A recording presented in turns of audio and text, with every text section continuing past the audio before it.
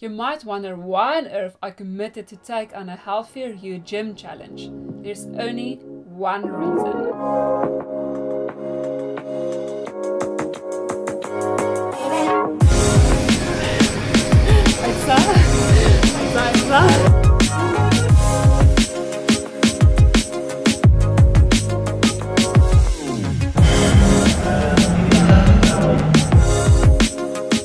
It was not about my stiff neck, which you will see in week 2.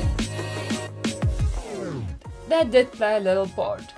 It was not about getting in shape, but I did. And it was not to prove to myself that I can go gym like anyone else, because I do work out. So what then? 2016 was a year that I will never forget. My dad took a 20 minute power nap, and when he woke up, he had no balance, he couldn't walk, and we didn't know what was going on.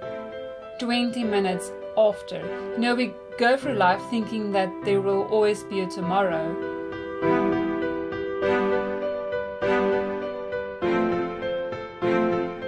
I cannot imagine how he must felt because we didn't know what was going on.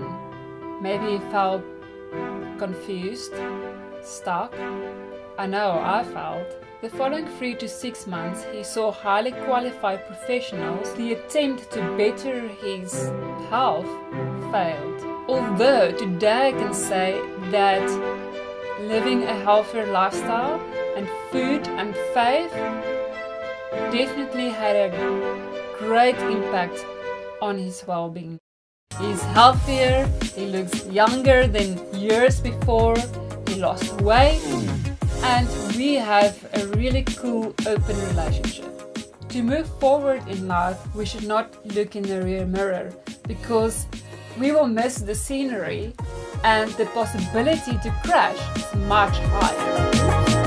However, to redirect our path, you can start with basic changes. You know, when people ask me about the 8 week healthier gym challenge, I say the amount of experience that is not important. Um, I say the amount of transformation I experienced through this journey is something you cannot buy. In general, we take for granted the people and things that we most rely on. Think about your husband, your wife, your children, your friends, and your family, and think about your own body. How often do we take care of everything around us except ourselves?